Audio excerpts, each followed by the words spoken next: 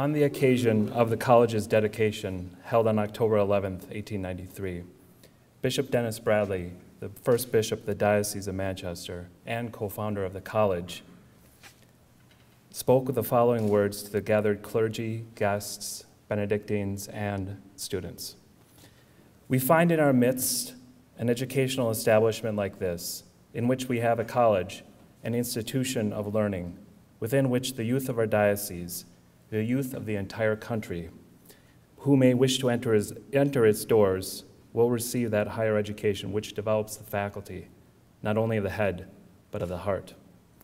Let this day be the beginning of days, because it marks a period of benediction to the present and future generation.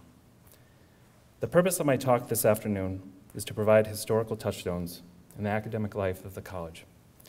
To this end, it is apt to begin with the early years and why the Benedictines of Newark, New Jersey were invited to Manchester. It was Bishop Bradley's dream to have a college in his diocese, and the Benedictines were his first choice. Through his connections, Bishop Bradley convinced the Benedictines of St. Mary's Abbey in Newark to build a college to, quote, educate youth both for the sacred ministry and for the learned professions or for business pursuits.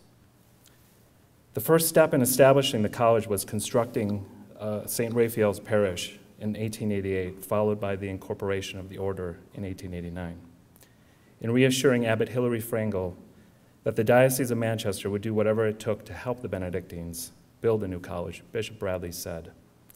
In reference to the college, I would say that we ought not wait until we can build on a grand scale. All colleges grow from small beginnings.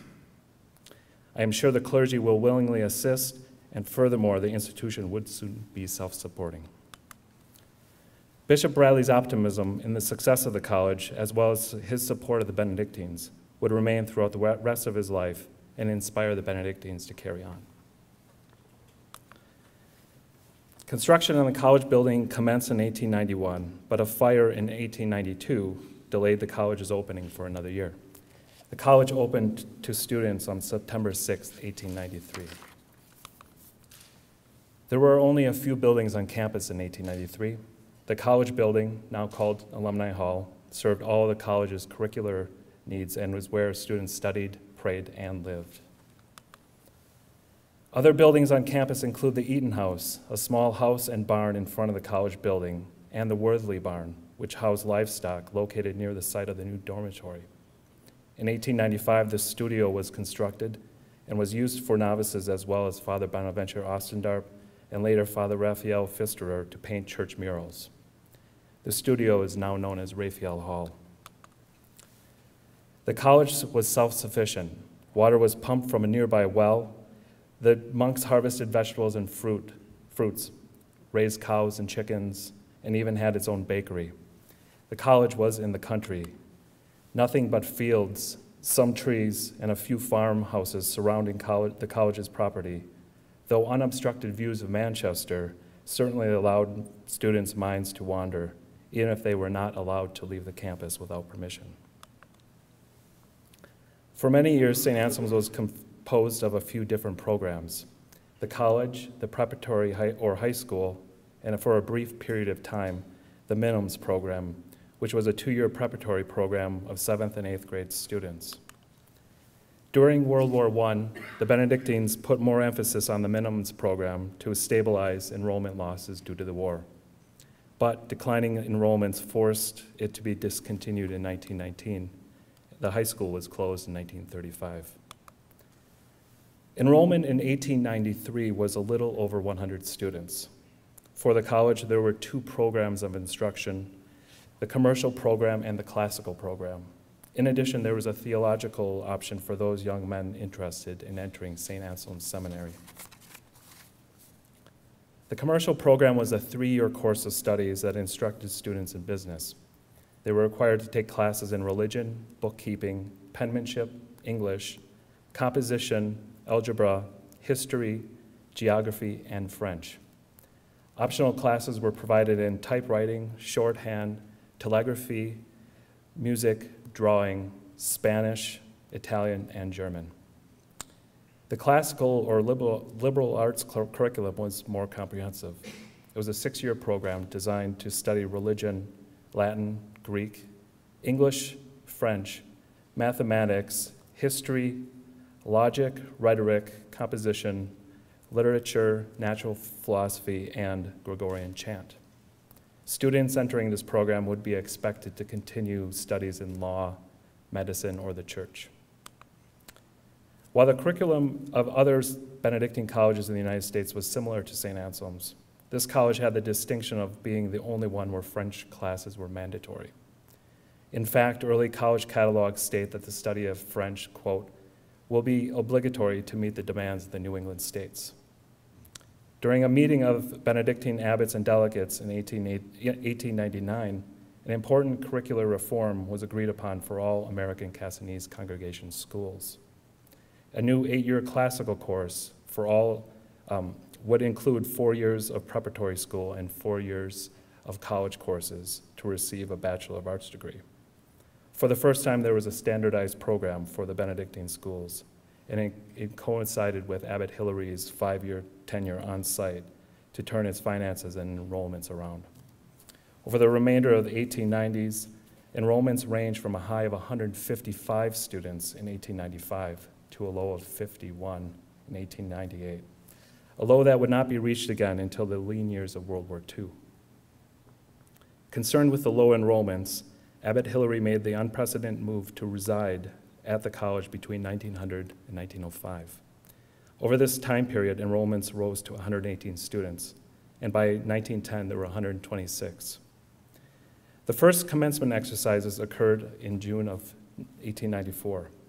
Since the college was not formally established with a charter from the state, the ceremonies that day awarded students medals and prizes for neatness and politeness, Latin, rhetoric, mathematics, bookkeeping, penmanship, piano, and violin. The college received its charter in 1895. The cost of attending the college in 1893 was $180 per year for room, board, and tuition. This was raised in 1896 to $200 and was not increased until 1917 when it was raised to $250. When judged by today's standards, rules governing students' activities were quite restrictive. With little time for anything else, the students lived and studied in the same environment as the Benedictine monks. Their lives were semi monastic, awaking at 6 a.m. for morning prayer and Mass, breakfast at 8, classes afterwards until noon, lunch, and a short break, classes until 4 p.m., another study period, supper at 8, followed by evening prayer, prayer and lights out at 9 o'clock. Wednesday and Friday afternoons were set aside for recreation such as hiking and other communal activities. Exclusive friendship was against the rules. By 1919, Father Bertrand Dolan, later abbot, was director of the college. Under his leadership, the college underwent a period of evaluation and curricular development that transformed the college. Father Bertrand made a greater distinction between the college and the high school, including having separate faculty for each program. He met with deans at a number of graduate schools to determine how courses taken at the college would affect our graduates' placement in graduate school. Father Bertrand also received permission from Newark to send several monks to Columbia University to take graduate courses in the sciences, a necessary move to improve the teaching of the sciences at the college. When he later became abbot, he sent monks on to graduate studies to benefit both the college and the monastery. Until the 1930s, the faculty was composed primarily of Benedictines.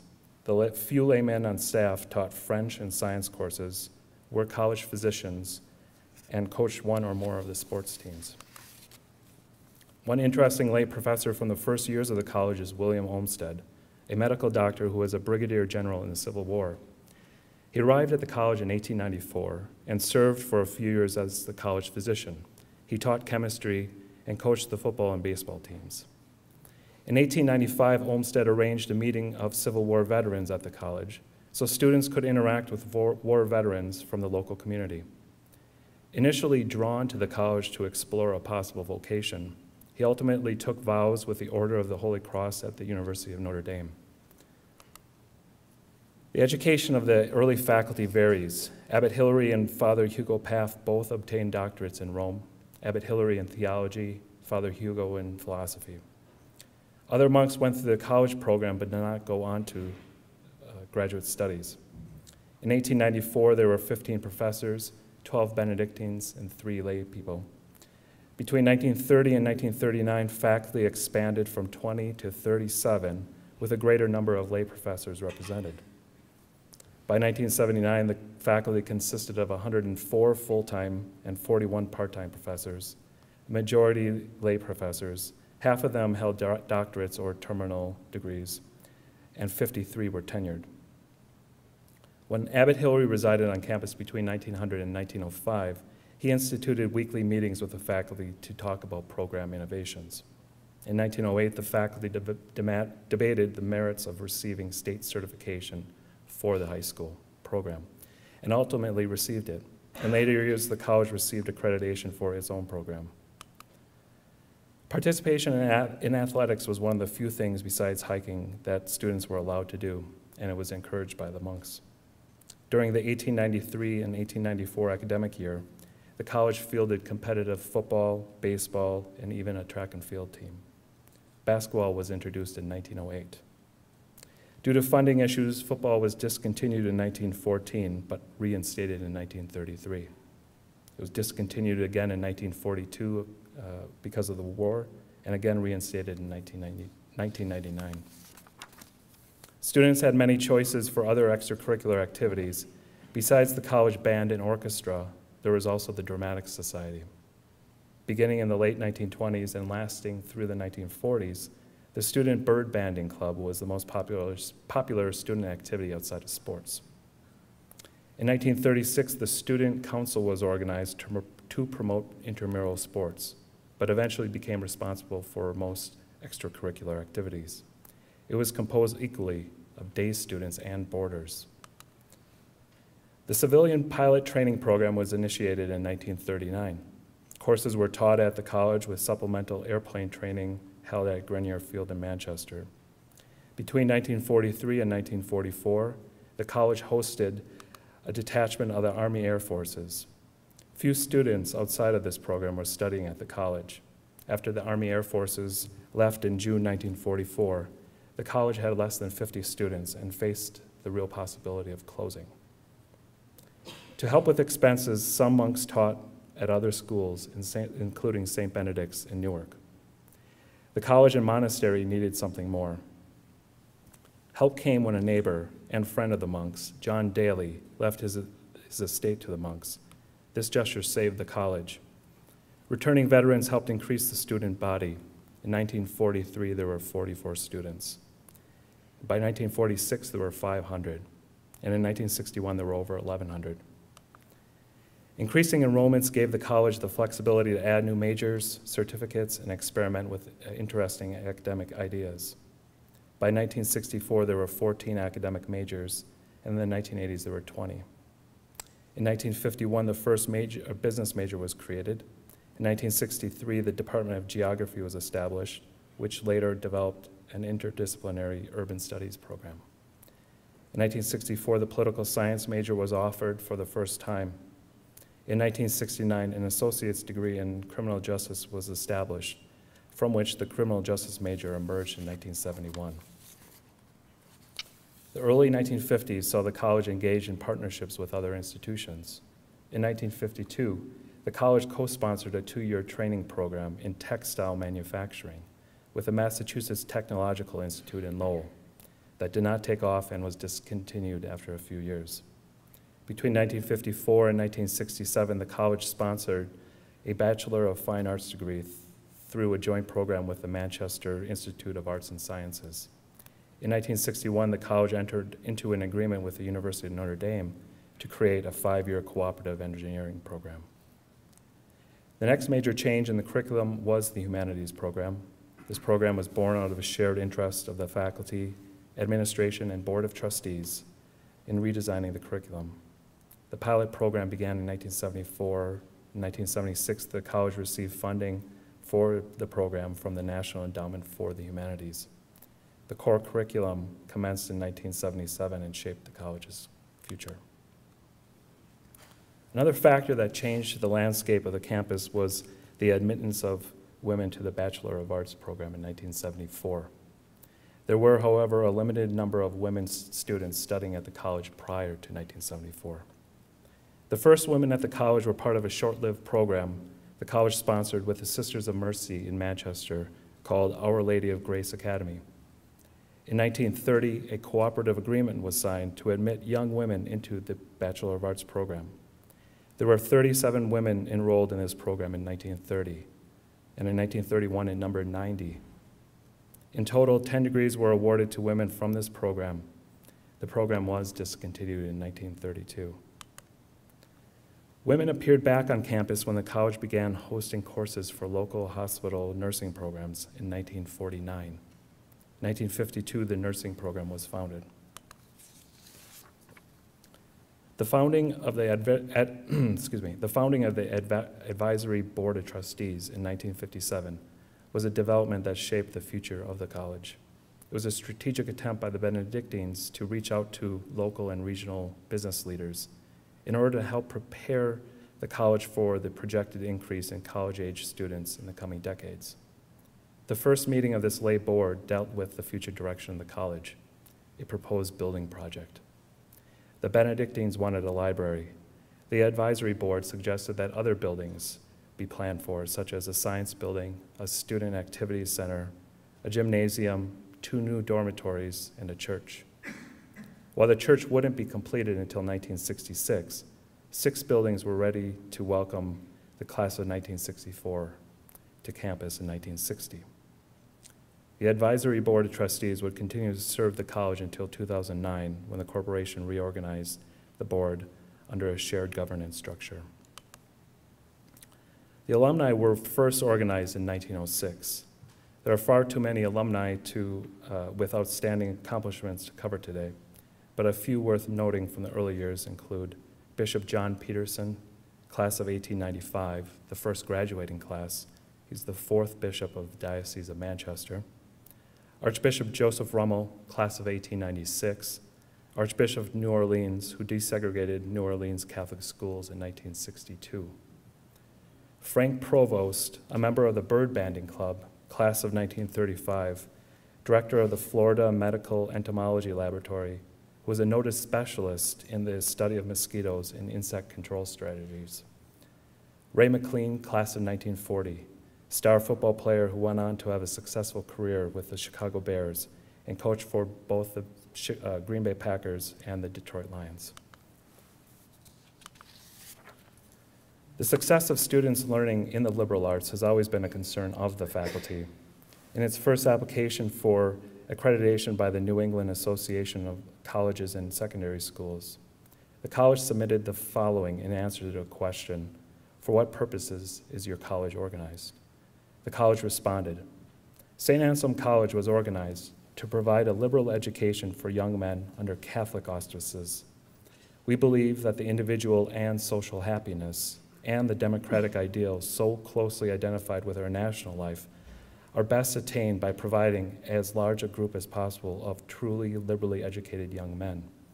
That is, not so much individuals expertly trained in any single profession or science, but those who can view the problems of life and society as a whole, and who consequently are able to rise above the narrowness of individual ambitions and direct their activities, at least to some degree, in the interest of the common good.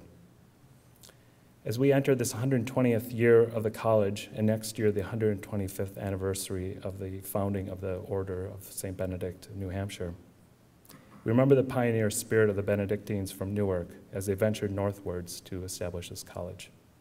Their courage to rebuild after the fire of 1892 should never be forgotten.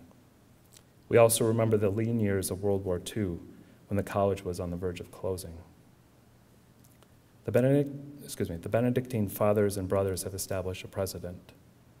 The resolve in responding to crises, instructing and caring for students, and administering this college allow us to move forward in service to this institution while listening to the spirit of Bishop Bradley's reassuring words all colleges grow from small beginnings. Thank you.